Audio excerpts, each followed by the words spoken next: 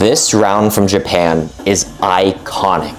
Just a reminder, b-boys don't know the music going into their battles, so it's one thing to nail something that you've practiced hundreds of times, but when you can execute so perfectly to music that you've never heard before, you can create a moment in b-boying culture that no one will ever be able to replicate. Just watch. This is Issei from Japan. He's known for his crazy strength and speed, but most of all, his control.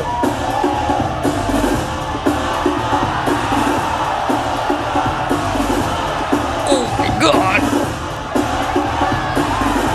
He's hitting everything.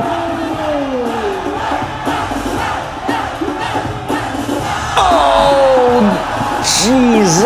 Oh my god!